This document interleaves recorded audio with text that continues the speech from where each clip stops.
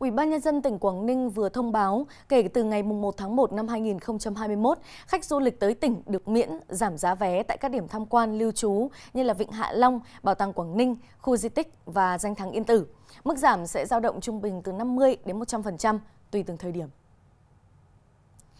Đối với các ngày lễ quan trọng như là Tết Dương lịch, Tết Nguyên đán, Ngày Quốc tế Phụ nữ, mùng 8 tháng 3, 30 tháng 4, mùng 1 tháng 5, giá vé sẽ miễn phí toàn bộ. Ngoài ra thì tỉnh còn tiếp tục hỗ trợ vé tuyến xe buýt từ sân bay Vân Đồn đến Hạ Long, dốc đỏ Uông Bí và ngược lại. Đây là những chương trình ưu đãi, khuyến mãi thuộc gói kích cầu du lịch nội địa 500 tỷ đồng được tỉnh Quảng Ninh triển khai trong năm nay với kỳ vọng là sẽ tạo cú hích để phục hồi ngành du lịch cũng như là giải quyết việc làm cho lao động tại địa phương.